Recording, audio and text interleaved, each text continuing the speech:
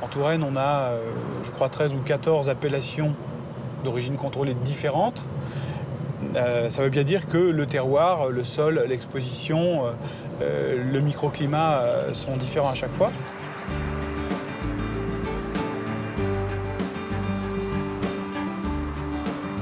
Au clos de la Mellerie, on travaille le chenin, le cépage historique des vins blancs de Touraine.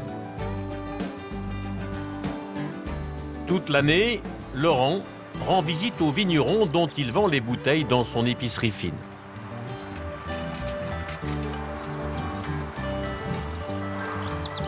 Salut Peter C'est le, moment de l'effeuillage. Ouais. Peter Hahn est d'origine américaine. Euh, il est installé ici depuis une quinzaine d'années.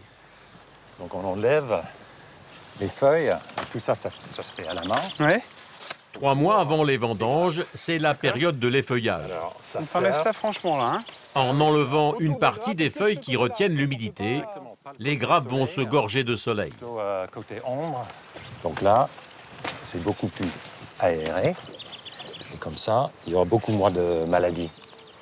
Donc c'est un boulot quand même hyper méticuleux. Voilà, ça prend beaucoup de temps. Parce que là, euh, mais dégager. Euh. C'est très qualitatif.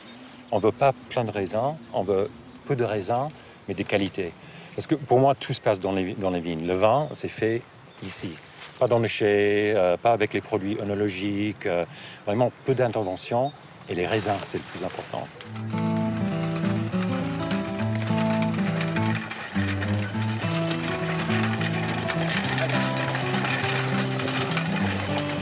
Au bout de la parcelle, un laboureur à cheval est en train de désherber entre les rangs de chenins.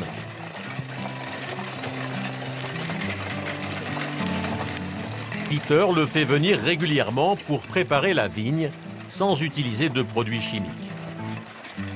Bah, c'est une belle journée pour travailler le sol, hein.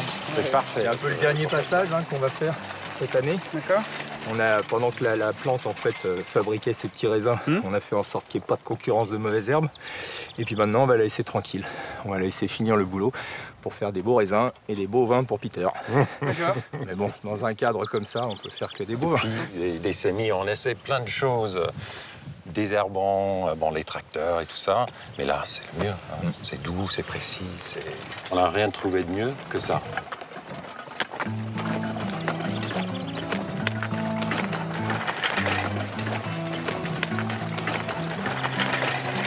Quand on tient cet outil, il y a une espèce de résonance dans le manche de, l'outil qui vous fait sentir la terre et d'une parcelle à l'autre, vous allez sentir des vibrations complètement différentes. Hein. Il y a des racines que vous allez sectionner qui sont à des endroits où elles ne devraient pas être. Il y a des, petites roches, des petites pierres. On va tomber sur des argiles un peu plus costauds et tout ça, on le sent euh, comme un instrument de musique résonnerait en fait euh, à travers le manche de l'outil. Et donc on est en permanence connecté avec le terroir.